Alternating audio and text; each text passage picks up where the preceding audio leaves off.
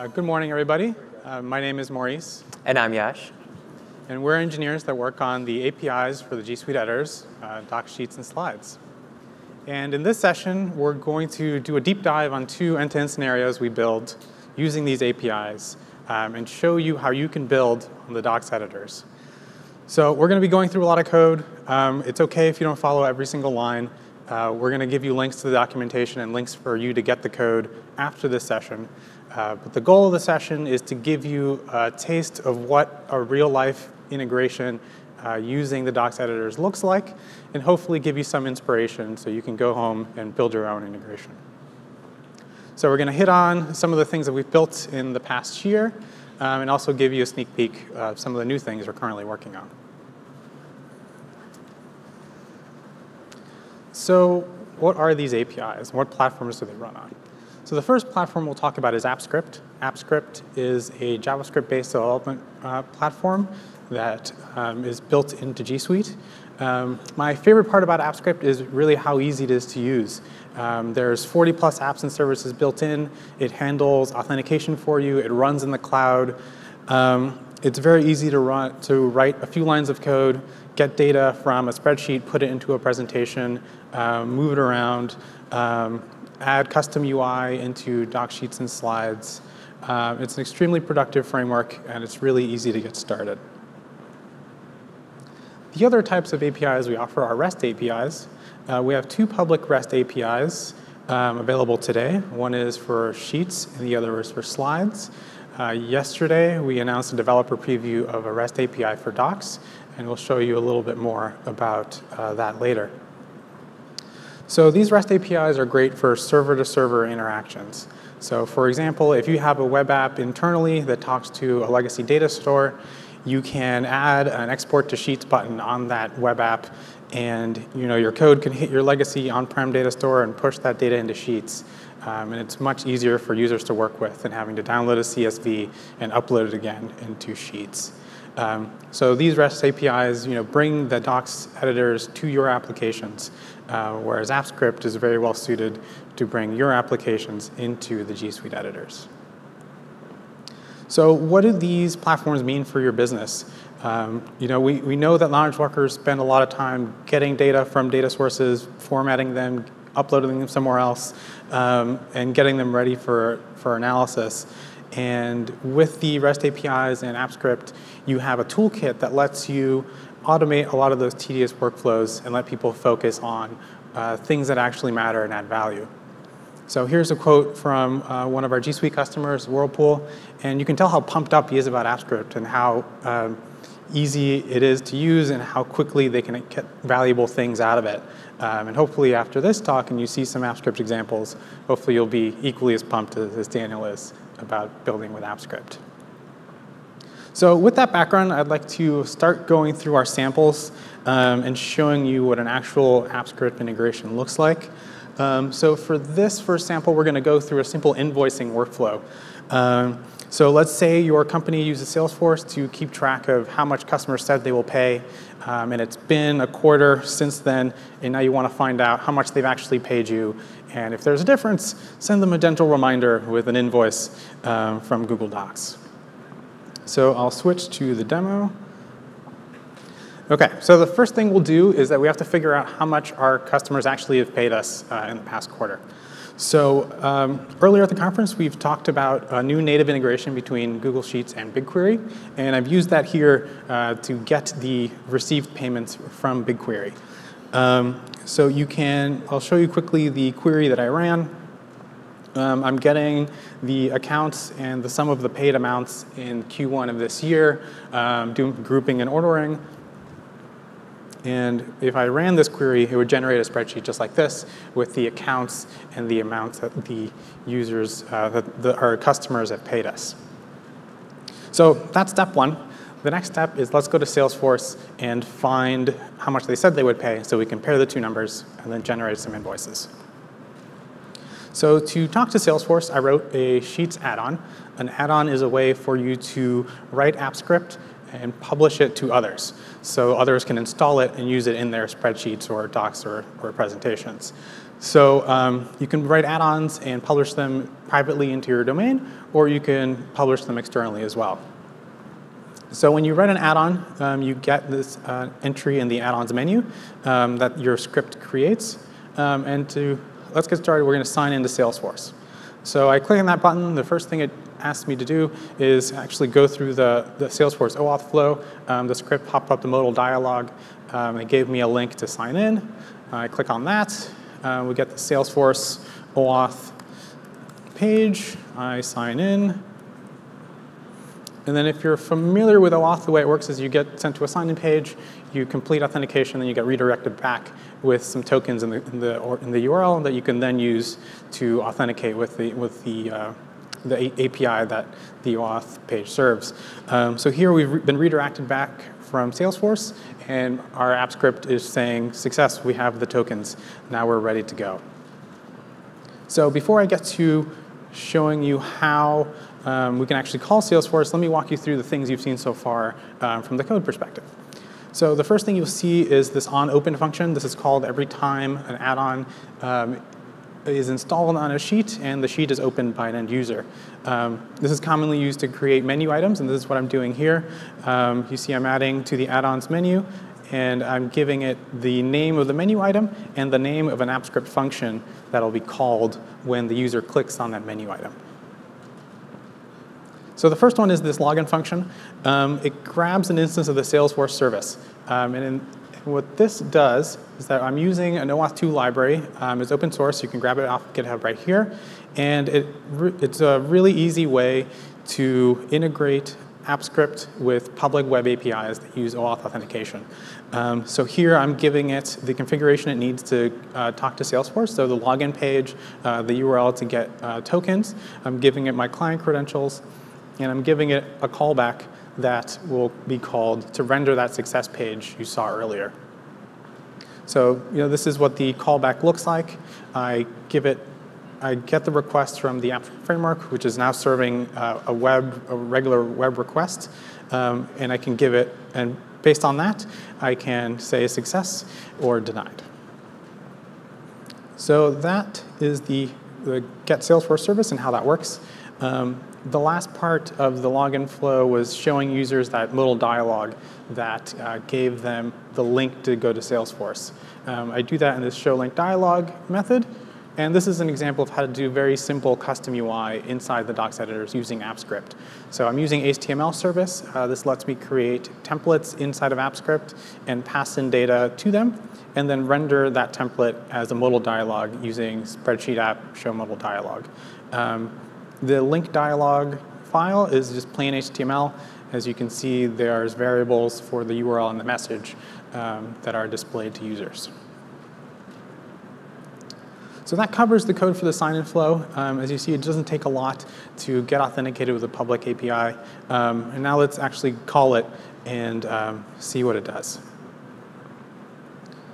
So I'm back in my spreadsheet. I close this out, and I go back to the add-ons menu, and I want to run a query on Salesforce. uh, Salesforce has support for Salesforce Object Query Language Queries, or SOQL. Um, it's kind of like SQL, but works on Salesforce objects. Um, and if I managed my clipboard properly, it would have been there, but it's not. All right, so I pasted a simple SQL query into the dialog. I'm doing something very similar to the query um, I had in BigQuery. I'm selecting all of my opportunities and the sum of their amounts, and I'm filtering by the ones that we have won and we have closed. So I run this query, and now my Apps Script is hitting the Salesforce public API, getting the, the response back, and adding that as a new sheet in my spreadsheet. So let's walk through how that works. Um, it uses that same Salesforce service that I set up earlier um, to get the authentication tokens and make the request.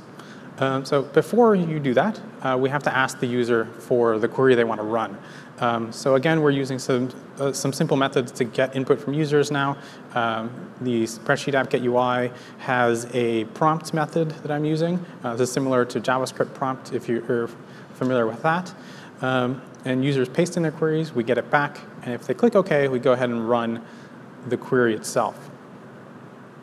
so to run the query, we hit the Salesforce public API. Uh, here I'm using URL fetch app. URL fetch is, uh, is the way in Apps Script that you can hit any public web endpoint uh, with it. You just give it a URL and some, you know, some parameters and headers, um, and you can you know, hit any, any web URL you need. So I'm telling it I want to run this query endpoint on the Salesforce REST API, and I get back the query results as JSON, which I then parse and then put on the spreadsheet. So that's the method I'm calling here on line 58 uh, when I get my results.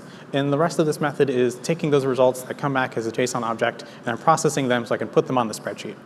So I'm creating a 2D array in output values, and um, creating the, the grid that you see on my spreadsheet inside that 2D array. And then I use the, the spreadsheet app API to get a range on the new sheet I just inserted of the same dimensions as that 2D array, and I pass the 2D array uh, directly to Sheets so I can fill in those cells. Um, so you can also do this one cell at a time. Uh, that's fine too. Um, but when you're dealing with larger data from a public API, uh, you'll get much better performance if you build up that 2D array and just pass it in, in one go. Um, OK, so we have our data from Salesforce. Um, it looks like this. It doesn't look like a great spreadsheet. And you know, I definitely don't want to fumble around with a spreadsheet for 10 minutes here. Um, so we, we need to do our analysis. We have to compare this, the numbers that we got from Salesforce with the numbers we got from BigQuery earlier, and see if there's any differences in the amount of money we've been paid. So to do that, I'm going to run a macro. Uh, macros are a new feature to Sheets that we launched earlier this year, and they're a great way to automate repetitive tasks um, and um, you know, run them over and over again. So, you know, obviously this is a very useful feature if you're doing manual things in a spreadsheet.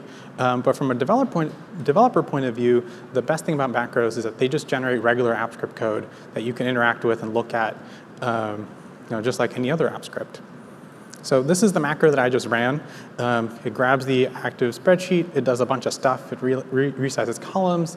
It sets number formats. It does a VLOOKUP. It fills the cells down. Um, it adds some conditional formatting. So you know, there's a lot of stuff going on here.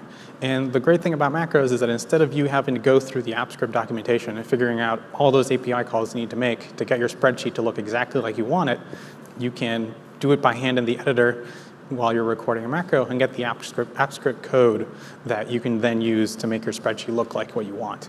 Um, so instead of looking at documentation, the app just tells you. Um, it's like having an expert in spreadsheet app sitting next to you telling you kind of what to do. Uh, so it's, it's really cool from a developer point of view as well.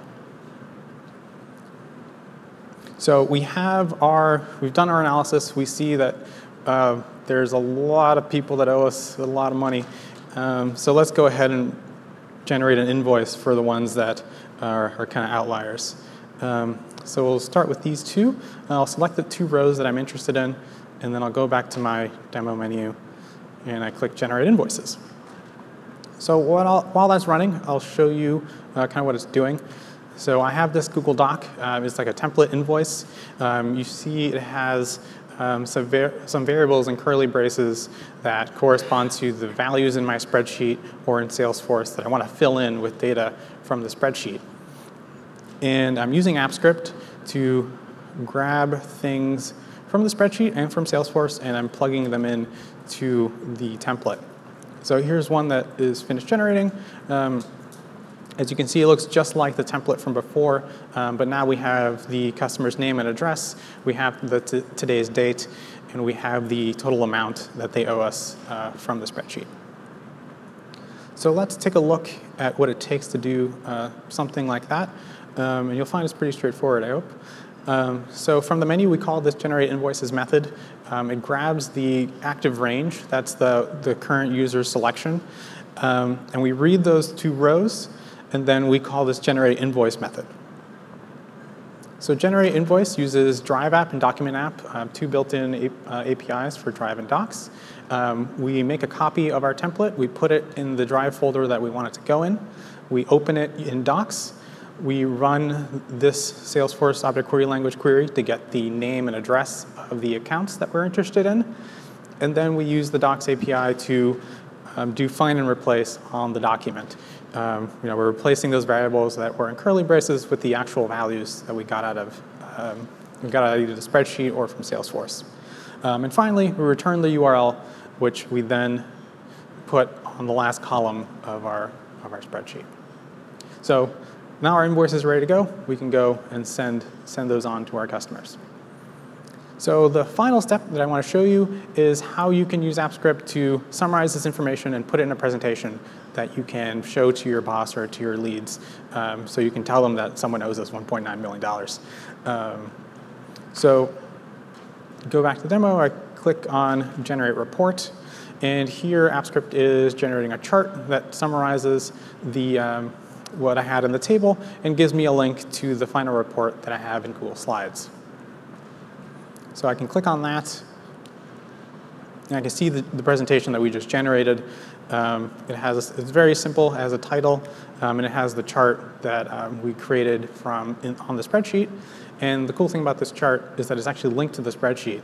So if you um, click on that open source link, um, it goes, it takes you right back to where the data was. Um, so you can see the, the, the, work that went into it uh, and double check any numbers that you need. So let's see how you can generate simple presentations using Apps Script. Um, so here's the generate report method uh, that I called from the menu. Um, the first thing it does is that it creates a chart. Uh, as you see, the chart API is pretty full-featured. It has a lot of uh, options to it. Um, I will confess, I recorded a macro and copy-pasted this code um, so I could run it here. Um, so I create a chart, we put it on the active sheet, we insert it, um, then we use Slides app, which is the native integration between Apps Script and Slides. Uh, this is new in the past year as well. Um, and uh, it's pretty straightforward to create very simple presentations, either from templates or from scratch. Um, here, I'm grabbing the first slide. It's always the title slide. Uh, we put the, the title in the the center text, the center title placeholder. Uh, we append a new blank slide. We add that chart that we created earlier and then we get the URL of the presentation so we can show to the user um, using show link dialog again. So that's our, that's our first demo.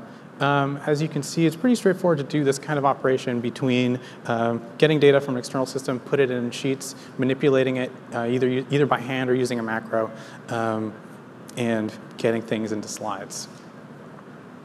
Let's go back to the slides. All right. So quickly summarize what we saw. Uh, we talk, hit a public API. We used the new native integration with BigQuery to get the data we need. We formatted and analyzed it. We pushed the data to docs using an invoice, and we summarized the results in slides. So uh, the first thing I did, I showed you that native integration with BigQuery. Um, that is available in beta. Um, if you'd like to check it out and learn about the other things that we're using with uh, doing with Sheets and BigQuery and data analysis, uh, please go to gsuite.google.com slash bq-sheets uh, to sign up for the beta, and we'd love to hear your feedback on that feature. Um, all right, so that's it for the first demo, and I'd like to hand it off to Yash to tell you about our REST APIs.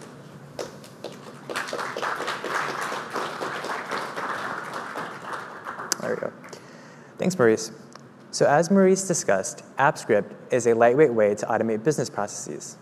Now we're going to take a look at the Sheets and Slides REST APIs, which can be used to perform bulk operations while also communicating with an on-premise system.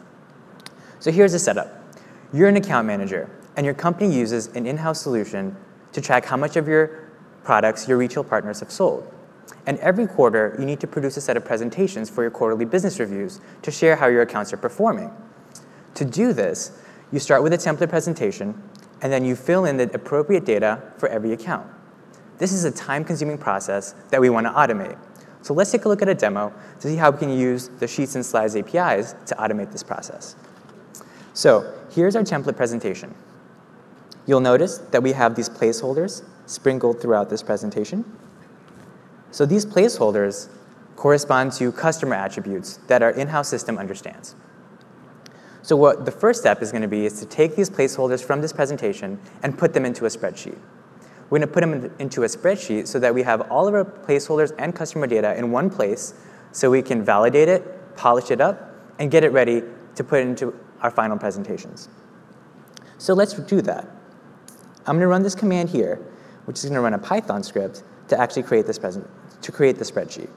So I'm going to paste it here.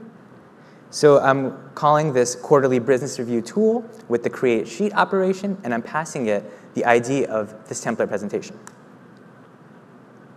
So it's going to run and then produce the spreadsheet URL for the spreadsheet that it just created. And let's open this up. So here we have a sheet that has all of the placeholders that were in the presentation. So let's take a look at how this works. So this is our quarterly business review tool. So the first thing is we do some auth setup. And then next, we set up some service clients. In this demo, we'll be using the Slides API, Sheets API, and Drive API. So we set up the service clients for all of those. Here we do some command line argument parsing, nothing too interesting going on here. And then we get to the create sheet method. So the first thing that this does is it gets all the placeholders out of the presentation, as well as the title, using this presentation reader object. Let's dig in a little bit to see how it does this. In the presentation reader, if you call get title or get all placeholders, it first initializes the presentation. So to initialize the presentation, it uses the slides API and calls get presentation to retrieve an API representation of the presentation.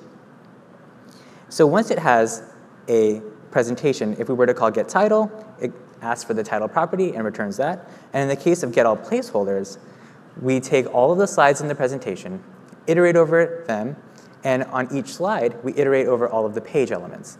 A page element is just anything that's on a slide, like a shape, image, table, etc. So in this case, we're going to iterate over all of the page elements of every slide, looking for shapes and tables, because those are the ones that contain text. So if we find a shape, we're going to process the text in it. And if we find a table, we're going to iterate over all of the table cells in the table, looking at all of the text in those table cells here. So let's take a look at what processing the text of a shape or table cell means. So the text in a shape or table cell consists of text elements. So we're going to iterate over all of the text elements, looking for placeholders. And whenever we find them, we return a list of them. And then up here, we're still collecting all of the placeholders throughout the entire presentation. And then finally, we return a set of the unique ones. So now, jumping back to the QBR tool, we have all of the placeholders from the presentation, and now we want to finally create that spreadsheet. So to do that, we're going to define what the spreadsheet title is going to be, which is just, in this case, going to be data sheet for the presentation title. And then we're going to create an empty spreadsheet. So we're going to call this create spreadsheet function, and we're going to pass through the size, sorry, the sheets service client, the spreadsheet title for what we want to call the spreadsheet, as well as the sheet titles for all of the sheets we want the spreadsheet to have. In this case, we just want one sheet. And we're going to call that the customer data sheet. So let's take a closer look at what this does. So here's that create spreadsheet function. We're going to be calling the create method on the Sheets API. And we're going to pass in the spreadsheet that we want to create. In this case, we're just creating an empty spreadsheet. So we're going to pass in the title, and then for every sheet that we want to create, pass in the sheets along with the titles associated with those sheets. And then at the end, we return the created spreadsheet. So great, now we have this empty spreadsheet. The first thing we're going to do is we're going to get the spreadsheet ID and the sheet ID for the newly created spreadsheet. And then using that, we can perform a subs subsequent operation to populate the placeholder data. So we're going to instantiate the spreadsheet writer object, passing it the Sheets API service client and the spreadsheet ID. And then we're going to call these methods. The first method is to populate the column itself. So we're going to pass in the sheet ID, the column index that we want to write to, which is the first column, the column ID, which is placeholders, and then the values that we actually want to write to the column. So I mentioned this thing that we want to uh, call this column ID placeholders. But what is this column ID?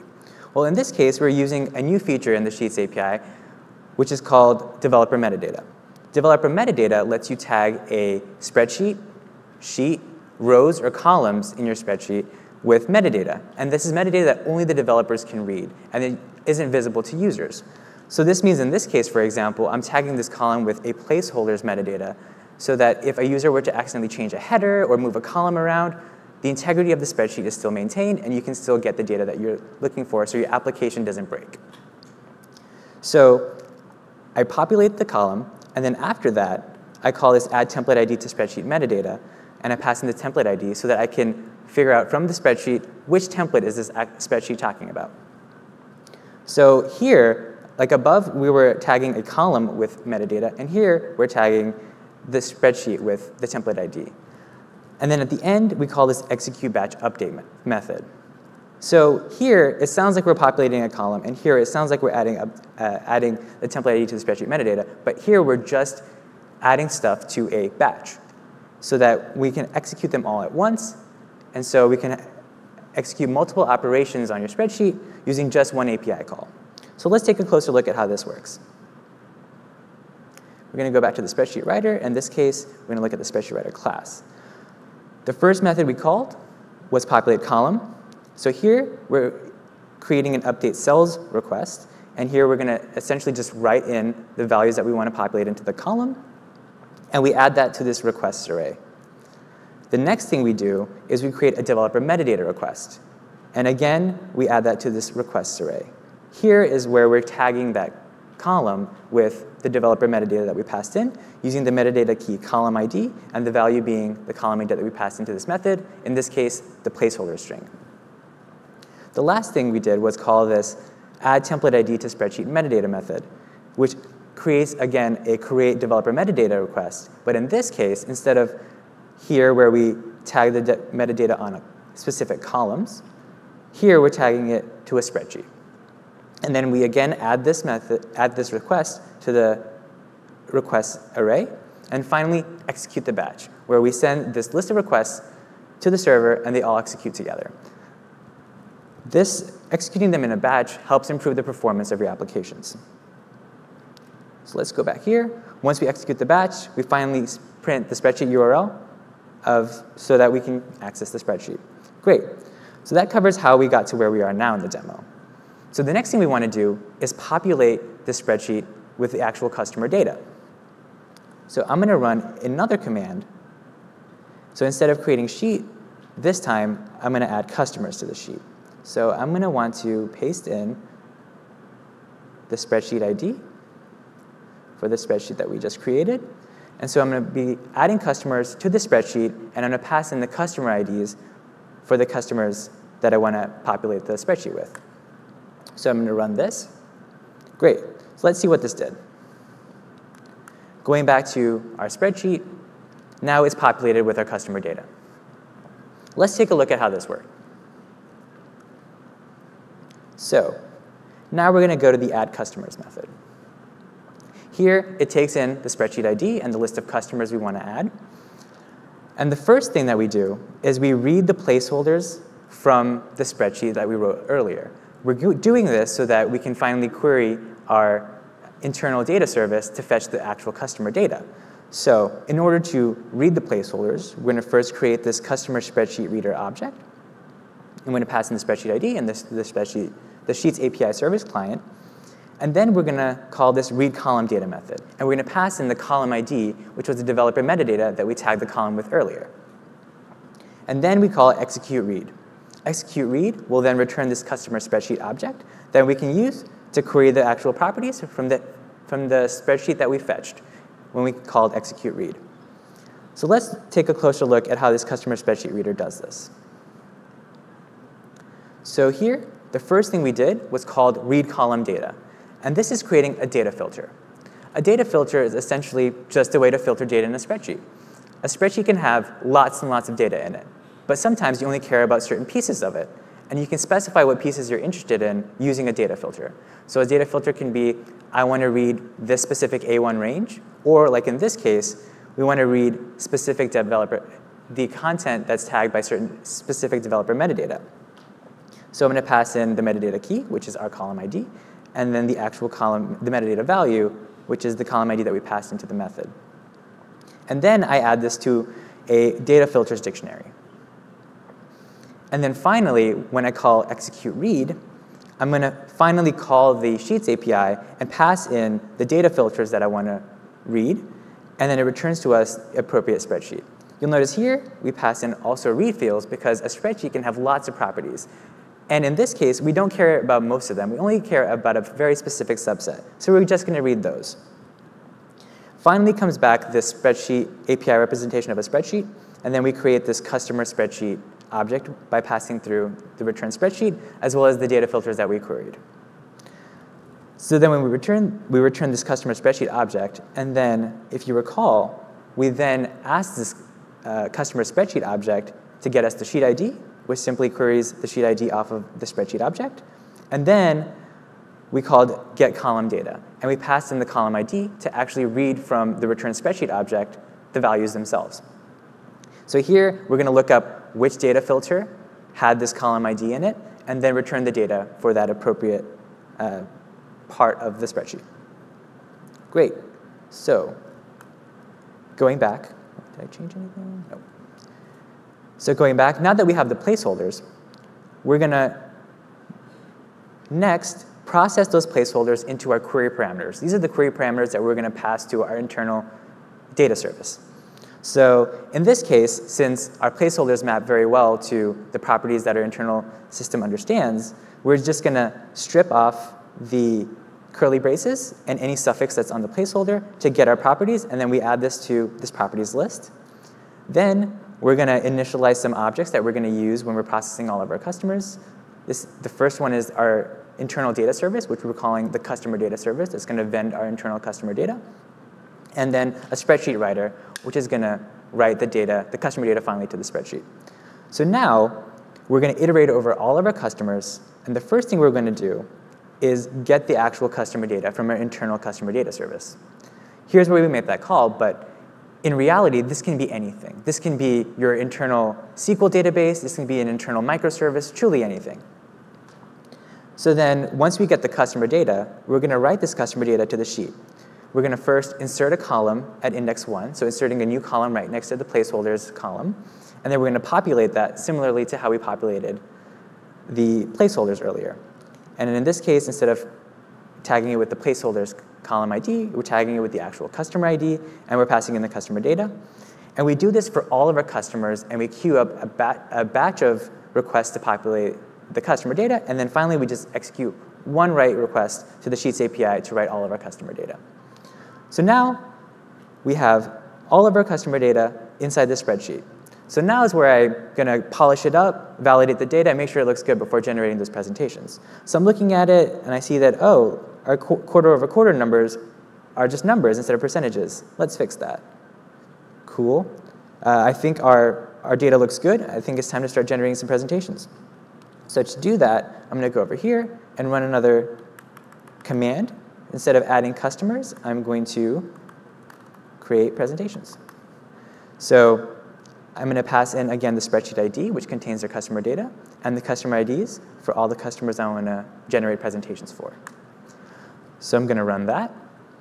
And this is going to start generating those final template, using those templates, the template earlier, generate the final presentations. So it's going to start creating that. So we have one just generated for the Mars company, one for Jupiter. Let's take a look at what one of these looks like. So great. Earlier, we had this template with these placeholders in it.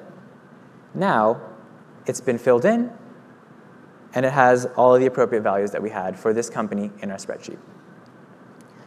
So let's take a closer look at how this works.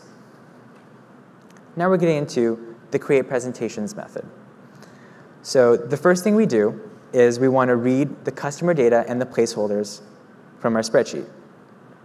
So similar to how we read the placeholders when we're adding customer data, we're going to read the placeholders again, but we're also going to read the customer data. So we're adding these, we're calling read column data to add the data filters to read all of these uh, custom, all of the columns.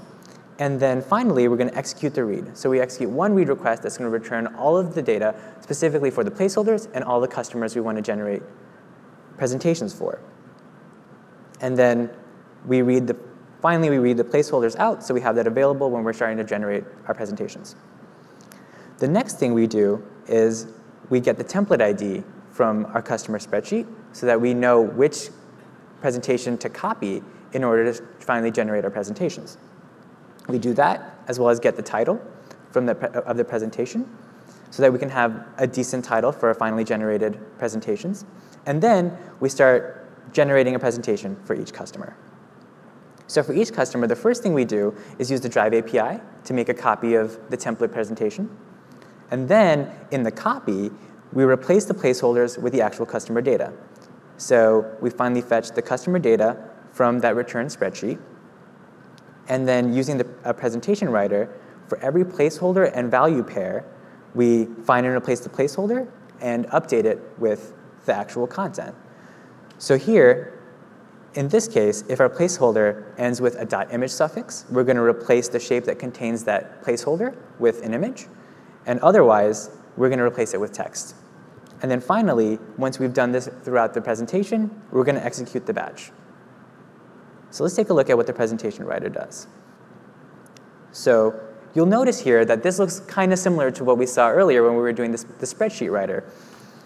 Here, we're creating requests, and we're appending them to a list of requests. And so in the case of replace all text, we're going to replace text with text.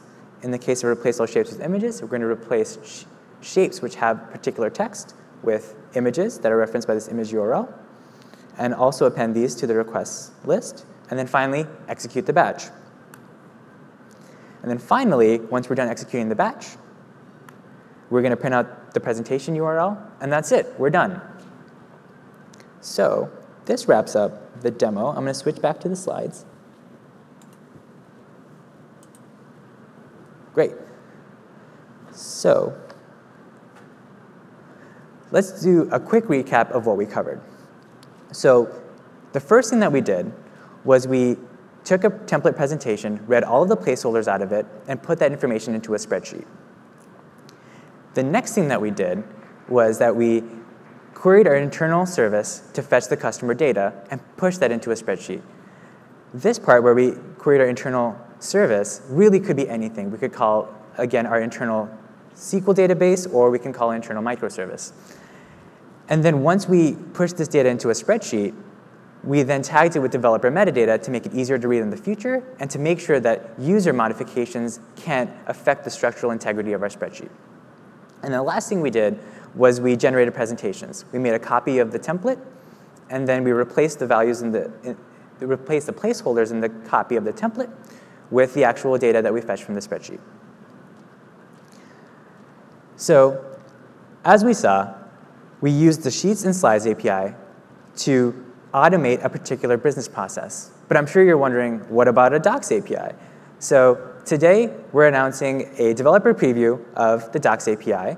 Um, this is a REST API that works similarly to the Sheets and Slides API. And I'm going to do a quick demo of how we can use the Docs REST API to generate the same template that Maurice showed earlier, excuse me, same invoice that Maurice showed earlier. Switch back to the demo. So if you recall, this was an invoice template that we used earlier to generate the, the invoices that we wanted to use as the gentle reminders. So we're going to generate one of these using the REST API.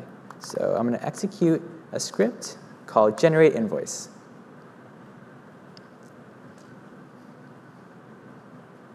and it outputs this document, and let's look, open it up. Great. So it generated an invoice, and we used the, the Docs REST API to do it. So let's open up the code and see if we can follow how this works. So I cheated a little bit. I didn't query Salesforce, and I didn't look up at a spreadsheet. I just have the values that we're going to put into the document right here in the script. But here's where we call the Docs API to do these, to fill out the, the invoice.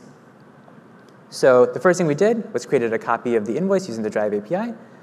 And then I created a list of requests and then appended those lists of requests with these replace all text requests to replace these placeholders with their actual values and then executed the batch. You'll notice here that this looks very similar to how we did this using the Slides API. We work really hard to make sure that our APIs feel consistent, so that if you're using one of our APIs, that you can start using a different one, and it should just feel natural. So that covers the demo. Back to the slides. So this API is still in development, but we're really excited to invite you to join our developer preview program at developers.google.com slash docs. So to wrap things up, developers have two major ways to integrate docs, sheets, and slides to automate workflows. The first one is Apps Script. Apps Script makes it easy for you to start writing scripts that perform actions across several G Suite services. And it also runs on Google's own infrastructure, so you don't have to worry about managing it on your own. The second are the REST APIs. The REST APIs bring G Suite services to your applications. They allow you to perform bulk operations and also make it possible for you to integrate with your on-premise systems. The main takeaway that we want you to have today is that the docs, sheets, and slides Apps Script and REST APIs are approachable, and they can be used to automate parts of your workflows. So people spend their time doing the work that adds value instead. You can learn more about our Apps Script and REST APIs here at developers.google.com slash AppScript, docs, sheets, and slides. And lastly, if you want to download the code that you saw here today, play with it, run it, you can do so at docsnext18.page.link slash appscript and Python. Thank you very much for your time.